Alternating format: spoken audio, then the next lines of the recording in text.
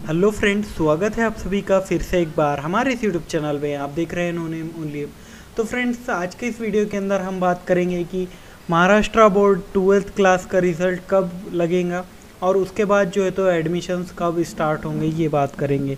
Okay तो सबसे पहले अगर रिज़ल्ट की बात की जाए एज एज़ यूजल जो हमारा जनरली रिज़ल्ट लगता है वो मई के लास्ट वीक में लगता है। लेकिन अभी कोरोना की वजह से ऐसा हो सकता है कि जून के फ़र्स्ट या सेकेंड वीक में रिज़ल्ट लग जाए। मतलब 15 जून से पहले आपका ट्वेल्थ का रिज़ल्ट जो है तो वो लग जाएगा।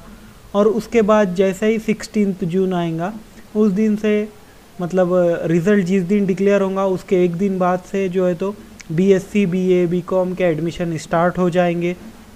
ओके पुणे के अंदर अगर पुणे की स्पेसिफिकली बात की जाए तो और अदर यूनिवर्सिटीज़ की भी हम इसी तरह से आपको अपडेट देते रहेंगे। और इंजीनियरिंग फार्मेसी ये एडमिशन होंगे। M S T C T के रिज़ल्ट के बाद। M S T C T का एग्ज़ाम जो है तो वो जून में कंडक्ट होने वाला है। उसके बाद उसका जुलाई, अगस्त में रिज़ल्ट आएगा। तो उसके बाद जो है तो इंजीनियरिंग और फार्मेसी के एडमिशन स्टार्ट होंगे। और नीट के भी बाद जो एम बी बी एस के कोर्सेस है।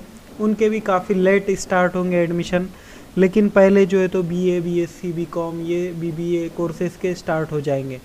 और डी फार्मेसी के भी ट्वेल्थ के मार्क के बेसिस पे ही रहते हैं तो वो भी जल्द ही स्टार्ट होंगे। तो उससे पहले आप जितने भी डॉक्यूमेंट्स लगते हैं, वो निकाल कर ले लीजिए। Thank you for watching and please subscribe for more videos and updates